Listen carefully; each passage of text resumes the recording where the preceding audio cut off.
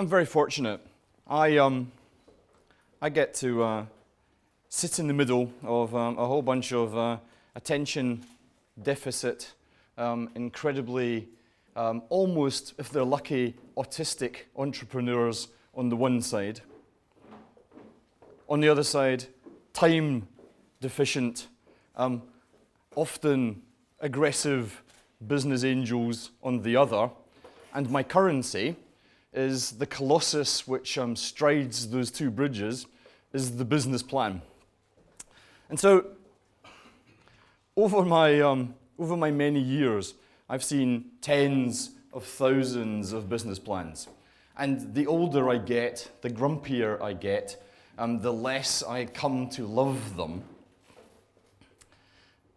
One of the major problems that I think I have with them is that most entrepreneurs find it incredibly difficult to write a business plan.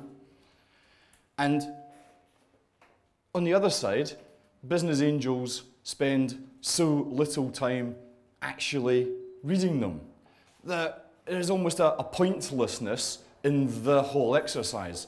The exercise is one of lazy thinking. It's, um, uh, it's a, a, a, fallen into common um, regard in terms of why people actually look for these pieces of information.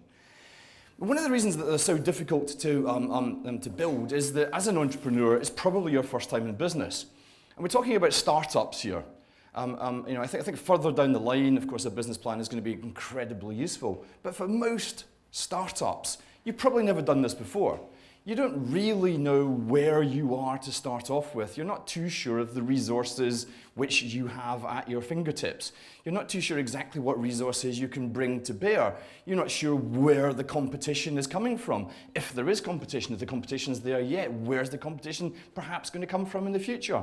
There are a whole number of variables, almost impossible. No, they are impossible for you to actually come up with and quantify almost to the point where it is an immensely pointless exercise.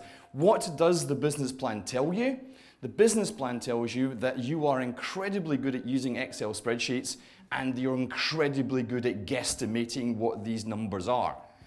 As someone looking to invest in a business, are those two qualities the very best criteria that you could possibly have a look at?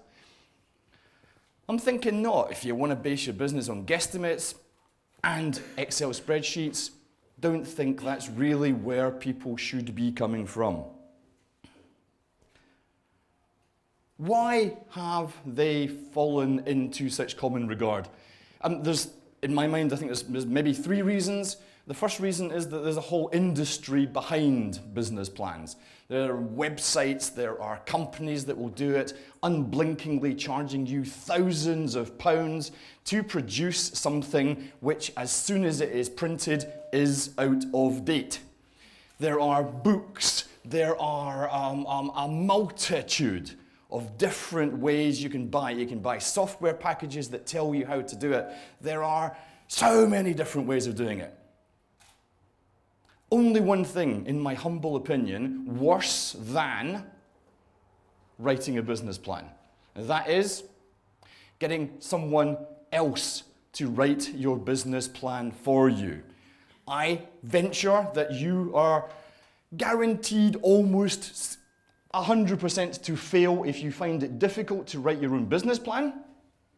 Once you get out into the big wide world, they will kill you. If you cannot write your own business plan, that's the easy bit compared to writing the business. The second major reason that it has fallen into common regard are inexperienced or even bad angels. It is just something that people just ask for. You know, I, would very much like to see it, but just send me your business plan. It just comes off their tongue, it's completely knee jerk. They can't but help themselves come up with that.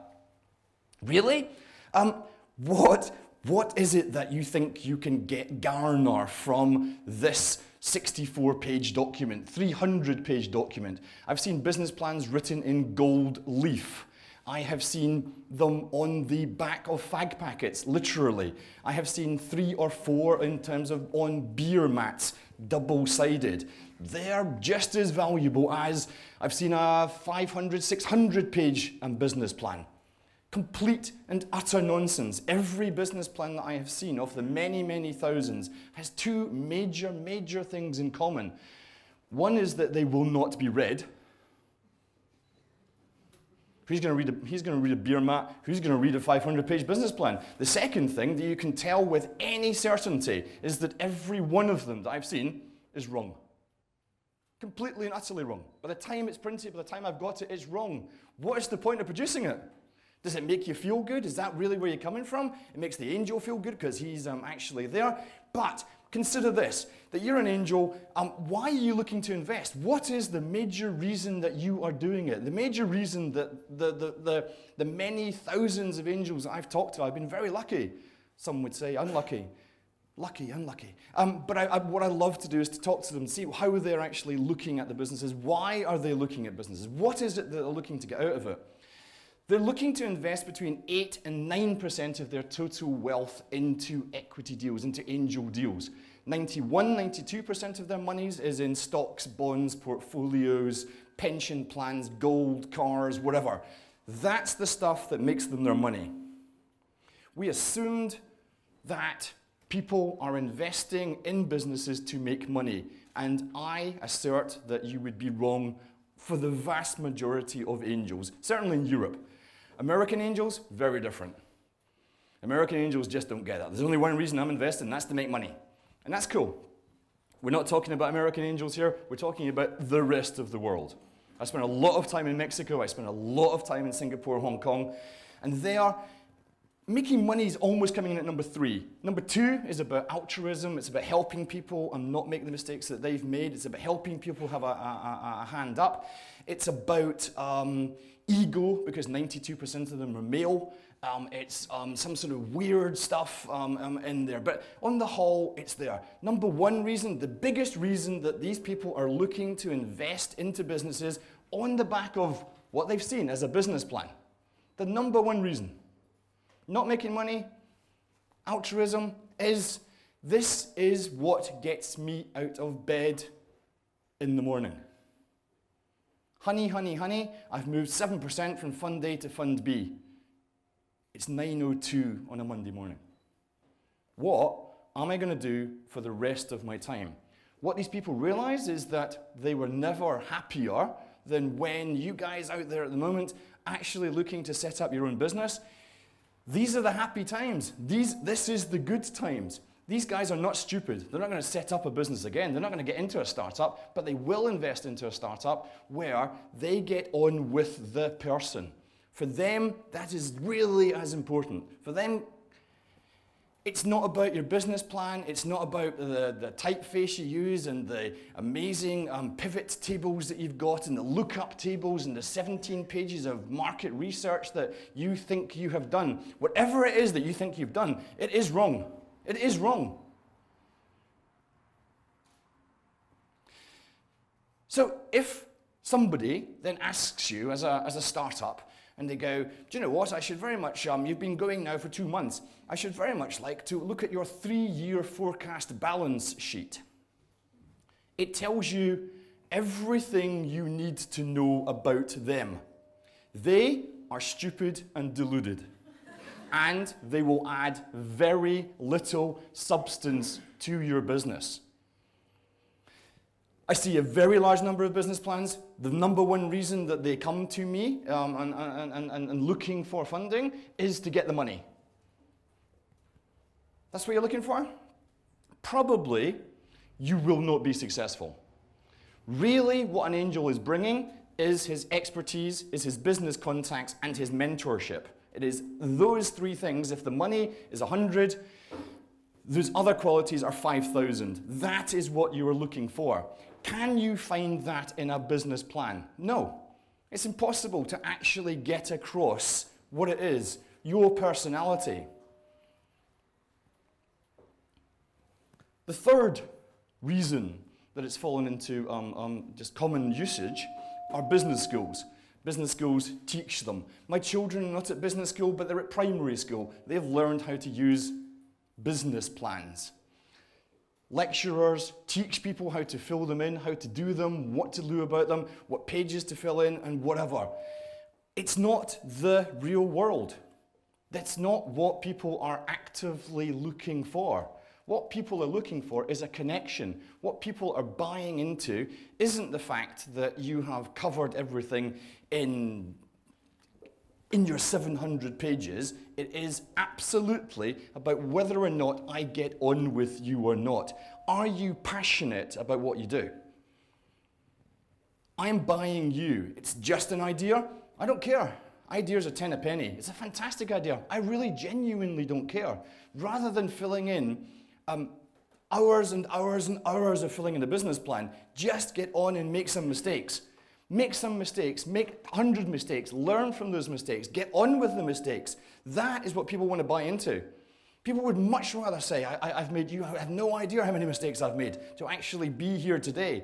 I want to hear that. I don't want to know what might happen sometime in the future with a whole bunch of different variables. In my experience, angels barely look at the numbers that you come up with because they know they're experienced business people. They know that they're nonsense. They know that you have no idea what the numbers are.